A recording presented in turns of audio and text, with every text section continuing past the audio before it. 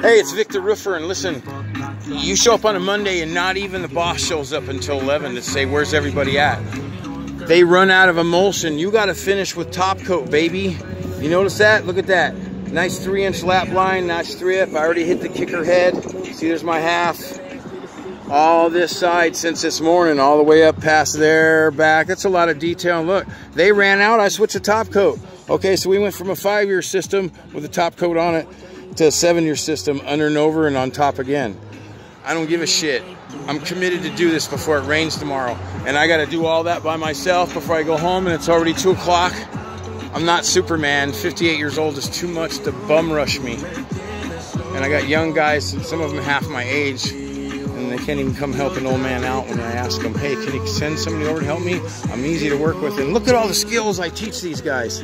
I got a bunch of mistake by one guy. He's not working with me no more. Too bad. Sorry, Chad. Chad, you, you fucked that up. Especially when you got an attitude for me trying to help you. Fuck, dude. No Saturdays, no paying dues. Imagine working Saturdays for four years while you learn roofing. And I'm giving it up free.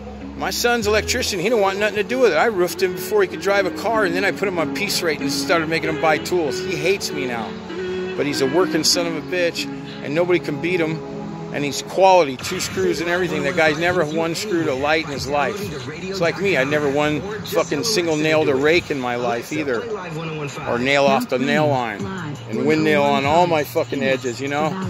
Oh, nobody learns anything no more. There ain't no apprenticeship programs. I don't know what to say.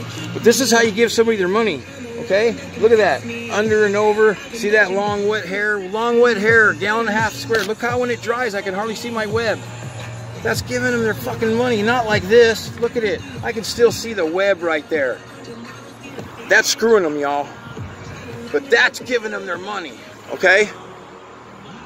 So sometimes you got to give it up, man. Look at today. God, I'm miserable and I, I ain't had a day off in a week. You think they'd want to help me? All right. Anyway, I don't care. I'm getting paid. So it's just got to be me.